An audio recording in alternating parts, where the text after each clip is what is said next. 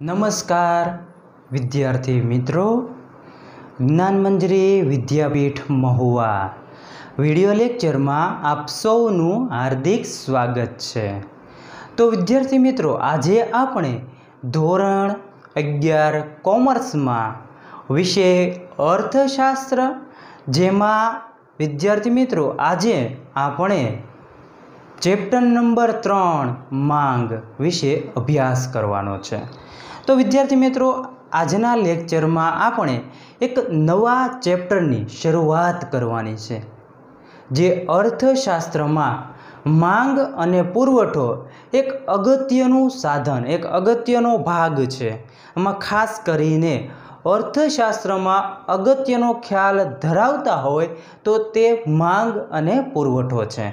તો વિદ્યાર્થી મિત્રો, આજના લેક્ચરમાં આપણે માંગ વિશે અભ્યાસ કરવાનો છે અને એક નવા ચેપ્ટરની શરૂઆત અર્થશાસ્ત્રમાં કરવાની છે.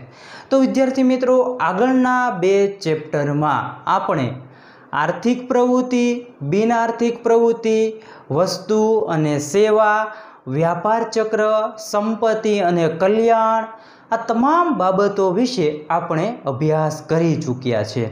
તો વિદ્યાર્થી મિત્રો, તેના આધારે જ આપણે અર્થશાસ્ત્રમાં એક અગત્યનો ખ્યાલ ધરાવે છે એ માંગ અને પુરવઠો. તેના વિશે પણ આપણે અભ્યાસ કરવાનો છે.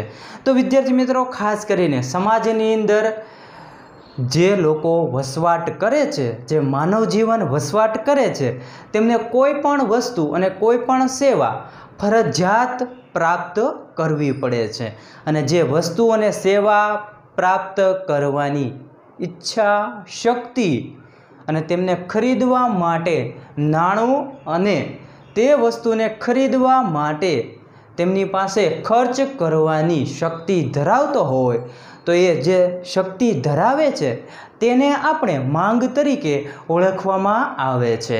તો વિદ્યાર્થી મિત્રો, અહીંયા આપણે આ ચેપ્ટર સંપૂર્ણપણે માંગ વિશે જ આપણે અભ્યાસ કરવાનો છે અને આપ સૌ લોકો જાણો છો કે બજારની અંદર સમાજની અંદર અનેક વિસ્તારોમાં અલગ અલગ બજારો જોવા મળે છે. જે બજારો મોટા પાયા ઉપર, નાના પાયા ઉપર, મધ્યમ ગાળા ઉપર તમામ બજારો અને આજના આધુનિક ક્ષેત્રમાં, આધુનિક યુગમાં વિદેશી બજારો પણ આપણને ટેકનોલોજીના મદદ વડે જોવા મળે છે. તો વિદ્યાર્થી મિત્રો, ખાસ કરીને બજારમાં જે વસ્તુ અને સેવાની આપલે થાય છે એ આપલે નાણાં અને તેને કિંમત અથવા તો તેના પર ખર્ચ કરી અને આપણે એ વસ્તુ અને સેવાઓ પ્રાપ્ત કરતા હોઈએ છીએ.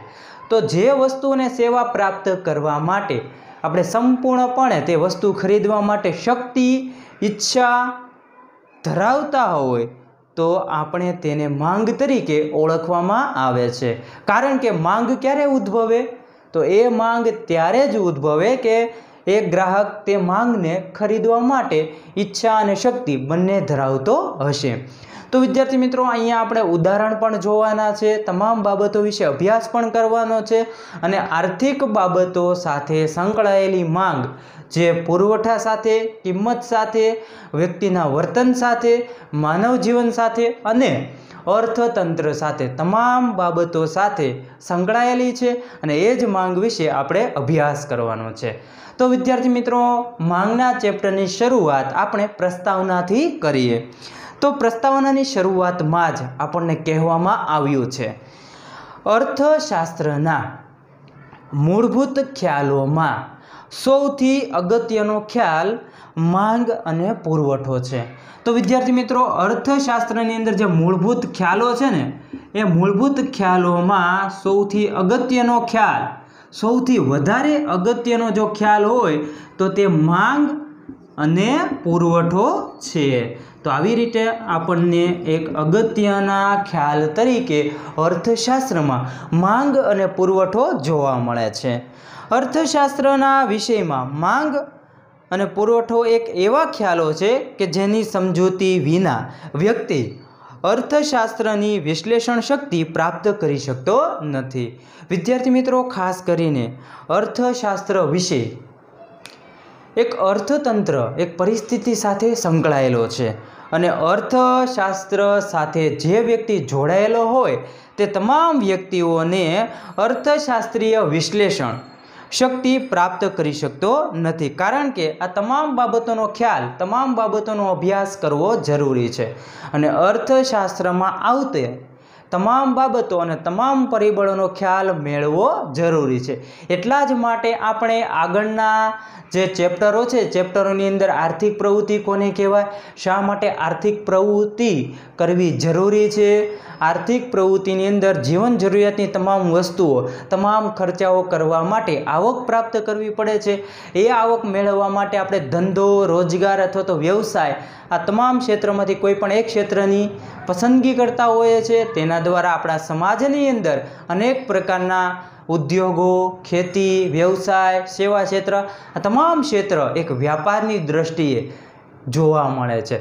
અને તેના દ્વારા સમાજના દરેક લોકો પોતાની જીવન જરૂરિયાતની તમામ વસ્તુઓ, તમામ સેવાઓ પ્રાપ્ત કરવા માટે જે ખર્ચ કરતા હોય છે, એ જ ખર્ચ દ્વારા સંપૂર્ણપણે શક્તિ અને ઈચ્છા ધરાવતો હોય, તો તેવી જે વસ્તુઓને સેવા ખરીદવા માટે જે માંગ ઊભી થાય છે, તેને આપણે માંગ તરીકે ઓળખવામાં આવે છે.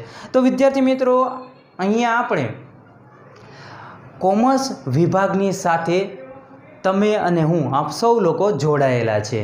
અને કોમર્સ વિભાગની અંદર અર્થશાસ્ત્ર વિશે એક અગત્યનો છે, જે જીવનની અંદર તમામ બનાવ, તમામ ઘટના, તમામ પરિસ્થિતિનું વર્ણન, વિશ્લેષણ કરતો હોય છે અને તેના દ્વારા પરિસ્થિતિ કેવી છે તેમની જાણકારી પણ આપતો હોય છે.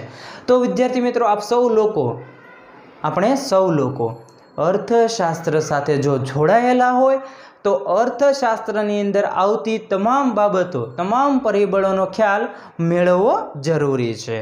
વિદ્યાર્થી મિત્રો, ખાસ કરીને માંગ અને પુરવઠા નામના બે બજાર પરિબળોની સમજૂતી જરૂરી છે.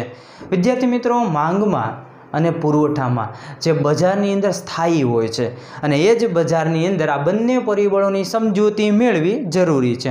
અહીં આપણે માંગના ખ્યાલ વિશે સંપૂર્ણપણે સમજૂતી મેળવવાની છે. તો વિદ્યાર્થી મિત્રો, માંગનો ખ્યાલ કેવો હોય છે? એ ખ્યાલ વિશે આપણે સંપૂર્ણપણે સમજૂતી મેળવીએ. તો હવે આપણે માંગનો અર્થ જોવાનો છે પ્રસ્તાવના પછી.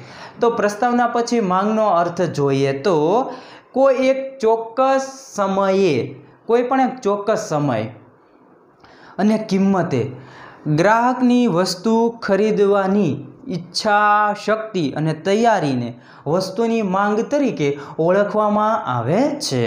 વિદ્યાર્થી મિત્રો, માંગ કોને કહેવાય?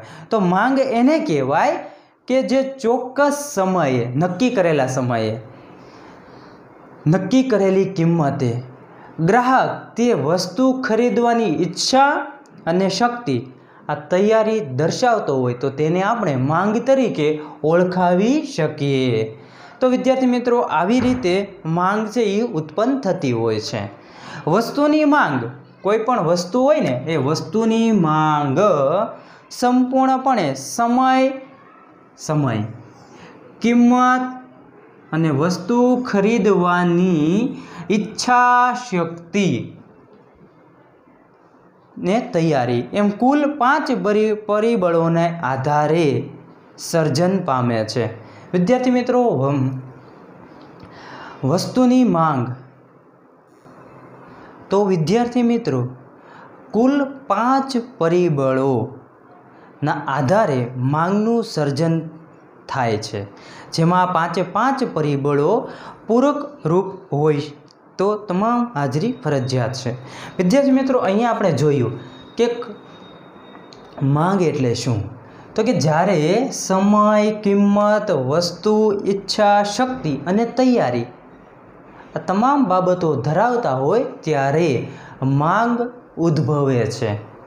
અને એ જ માંગ ઉદ્ભવવા માટે, એ જ માંગ ઉદ્ભવવા માટે આ જે પાંચે પાંચ પરિબળો છે એ પરિબળો એકબીજાના પૂરક અને પાંચે પાંચ પરિબળોની હાજરી ફરજિયાત છે. તો જ બજારમાં માંગ ઉદ્ભવી શકે. એટલા માટે માંગને ઉત્પન્ન કરવા માટે કુલ પાંચ પરિબળોની હાજરી ફરજિયાત જોવા મળે છે. અને આ પાંચ પરિબળોની હાજરી ફરજિયાત આપણને જોવા મળે તો પરિણામે માંગનું સર્જન થાય છે. એટલા માટે આ પાંચ પરિબળો એકબીજાના પૂરક જોવા મળે છે. એકબીજાના પૂરક આપણને જોવા મળે છે.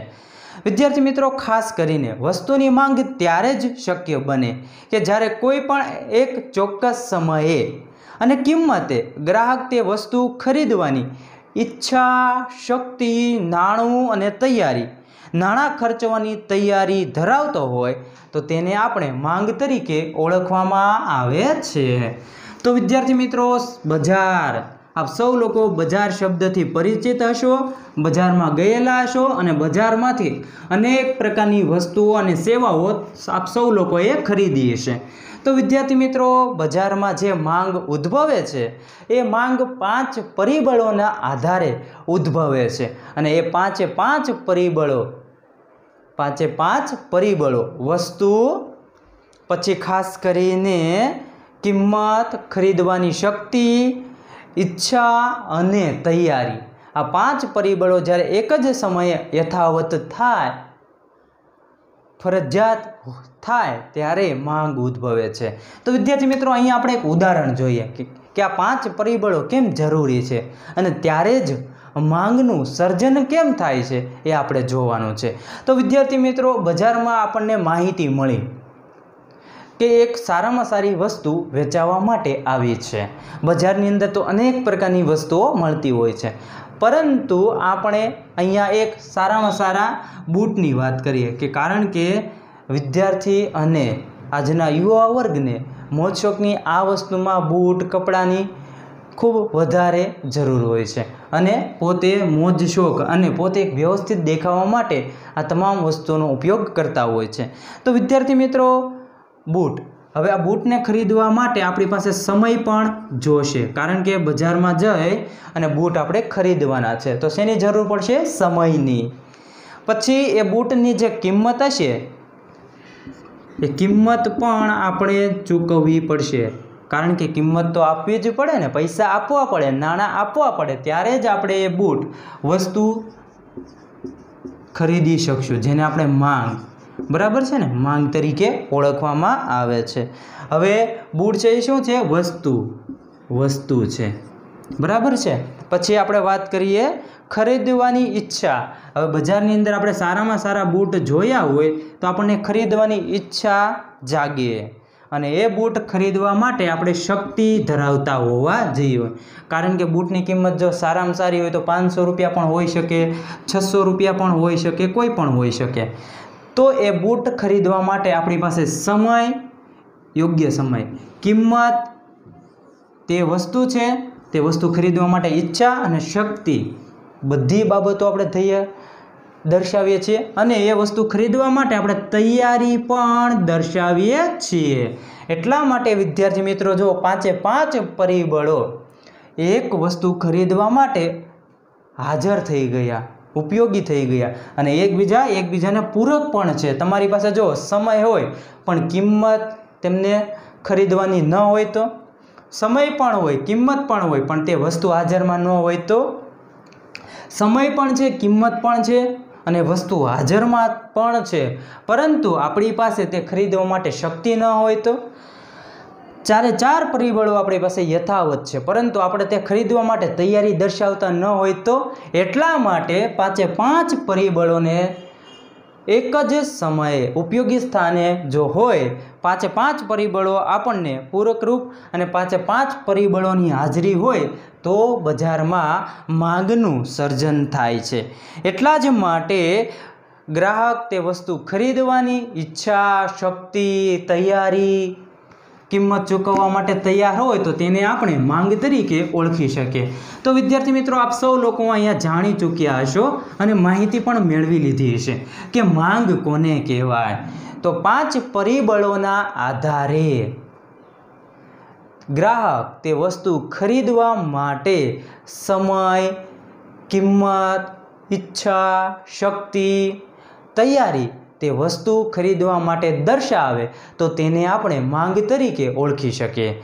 તો વિદ્યાર્થી મિત્રો, હવે આપણે આ જે માંગ છે ને, વસ્તુની માંગને જે અસર કરતા પરિબળો છે, એ પરિબળો વિશે આપણે અભ્યાસ કરવાનો છે.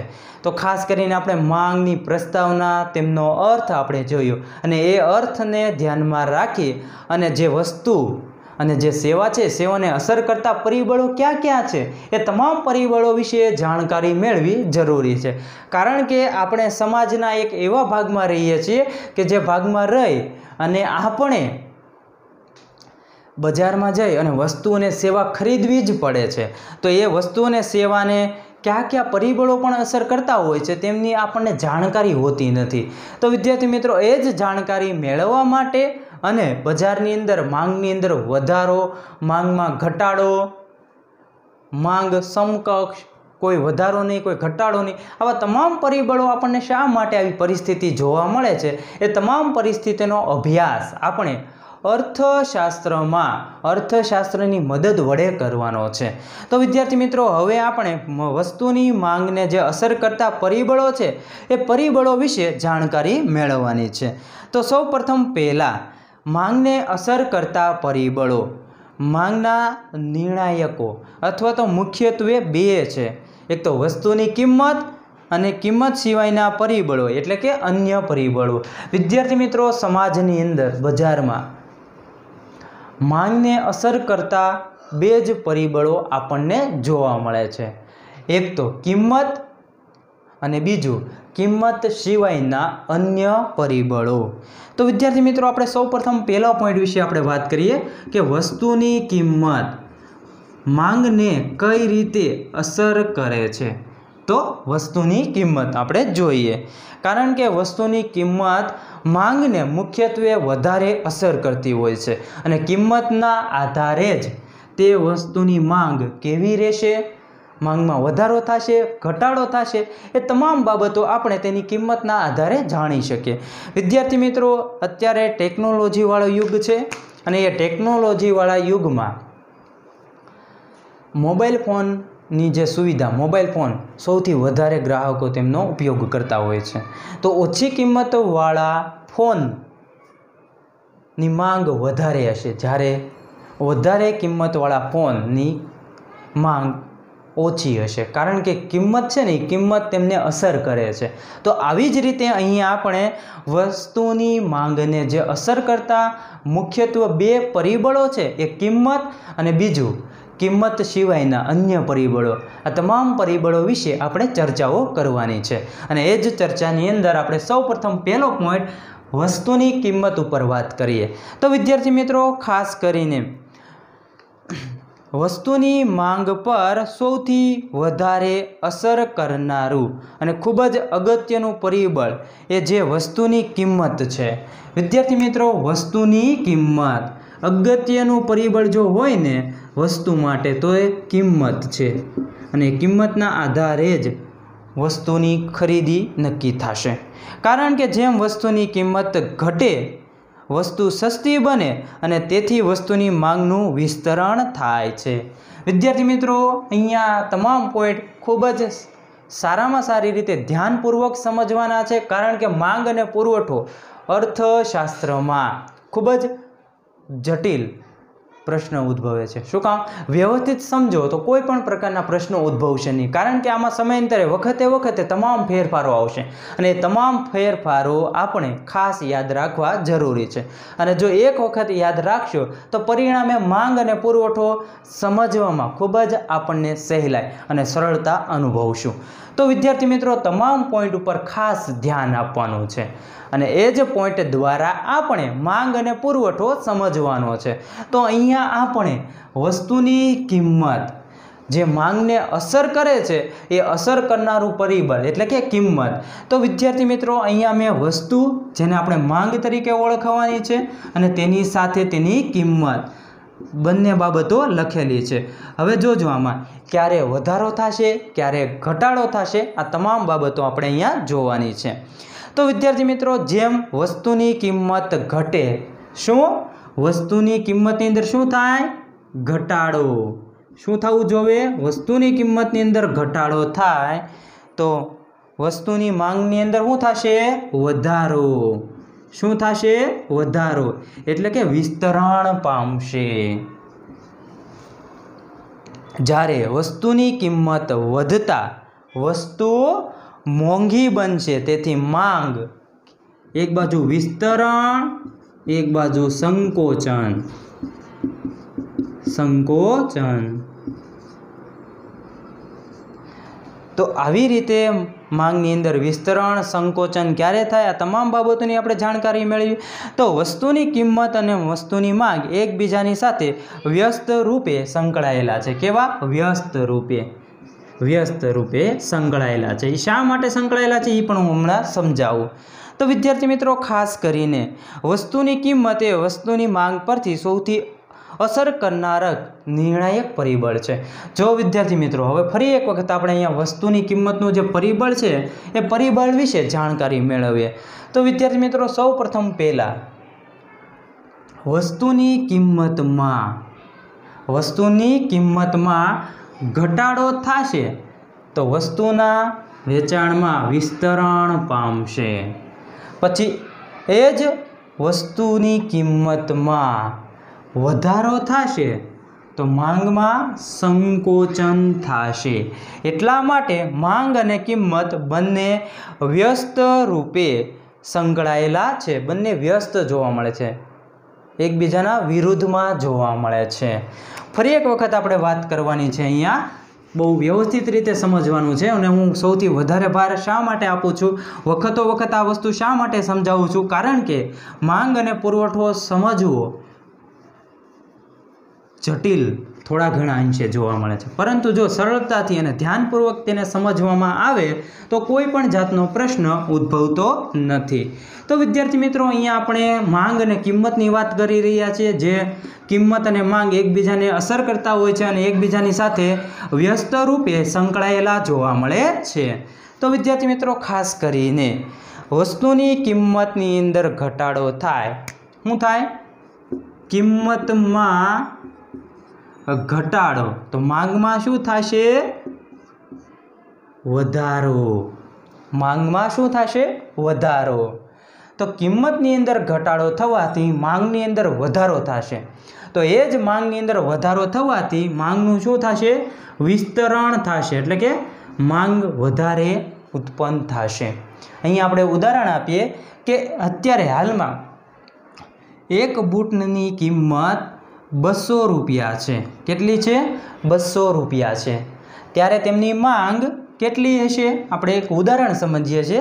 એટલા માટે કે એક વસ્તુ, એક બૂટની કિંમત અહીંયા આપણને બસો રૂપિયા જોવા મળે છે.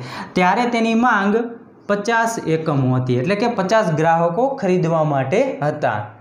તો અહીંયા કિંમતની અંદર હવે આપણે ઘટાડો કરવાનો છે. એ જ બૂટની કિંમત, વિદ્યાર્થી મિત્રો, એકસો પચાસ રૂપિયા થઈ જાય તો પરિણામે જે પચાસ ગ્રાહકો હતા, પચાસ એકમો હતા, તે વધીને સો એકમો થઈ જશે. તો પરિણામે શું થયું? માંગનું વિસ્તરણ ગ્રાહકની અંદર વધારો થયો આવી રીતે. પછી વાત કરીએ આપણે કે કિંમતની અંદર વધારો શું થશે? જો વિદ્યાર્થી મિત્રો કિંમતની અંદર વધારો થાય, તો માંગની અંદર આપોઆપ ઘટાડો થશે. એટલા માટે માંગનું શું થાય સંકોચન થશે. શું થશે? સંકોચન થશે. તો ફરી એક વખત આપણે જોઈએ, કિંમત જે બસો રૂપિયા હતી, તે વધીને અહીંયા અઢીસો રૂપિયા થઈ ગઈ. આપણે એવું માની લઈએ, બસો પચાસ રૂપિયા. તો જે માંગ પચાસ રૂપિયા હતી તે સોરી જે માંગ પચાસ એકમો હતી તે ઘટીને કેટલી એકમ થઈ ગઈ? પચીસ એકમો. એટલે કે માત્ર ને માત્ર પચીસ જ ગ્રાહકો તે બૂટ ખરીદવા માટે સક્ષમ છે અને શક્તિ ધરાવે છે. એટલા માટે અહીંયા માગનું શું થઈ ગયું? સંકોચન. તો ટૂંકમાં બંનેની વચ્ચે જુઓ, વ્યસ્ત સંબંધ ધરાવે છે. કિંમત ઘટે તો માંગ વધે. કિંમત વધે તો માંગ ઘટે. તો આવી રીતે આ ખાસ યાદ રાખવાનું છે કે ક્યારે વિસ્તરણ થાય, ક્યારે માંગનું સંકોચન થાય અને બંનેની વચ્ચે શા માટે આપણને વ્યસ્ત સંબંધ જોવા મળે છે? તો આ તમામ બાબતોના આધારે આપણે કહી શકીએ કે જ્યારે કિંમતની અંદર ઘટાડો થાય, ત્યારે માંગમાં વધારો થાય, એટલા માટે વિસ્તરણ થાય છે.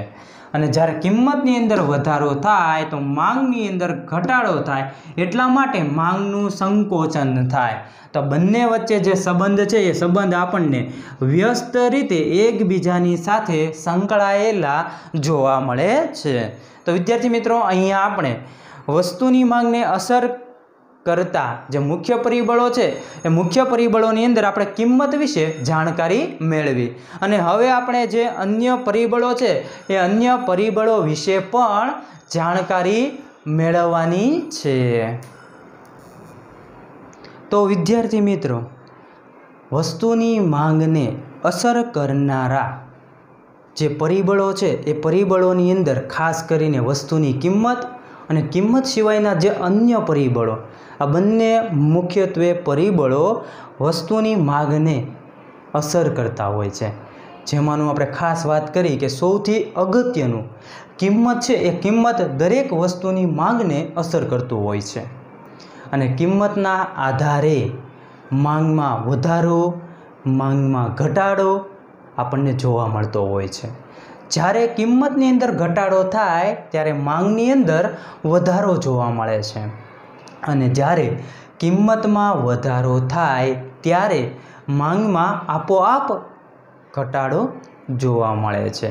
તો બંનેની વચ્ચે આપણને વ્યસ્ત સંબંધ, વિસ્તરણ અને સંકોચન, માંગ અને કિંમતની વચ્ચે વ્યસ્ત સંબંધ જોવા મળે છે. એટલા માટે માંગ અને કિંમત એકબીજા સાથે વ્યસ્ત રીતે સંકળાયેલા છે.